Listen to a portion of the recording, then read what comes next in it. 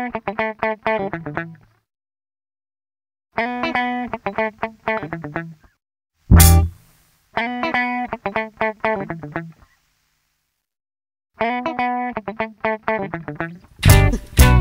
your body, now stop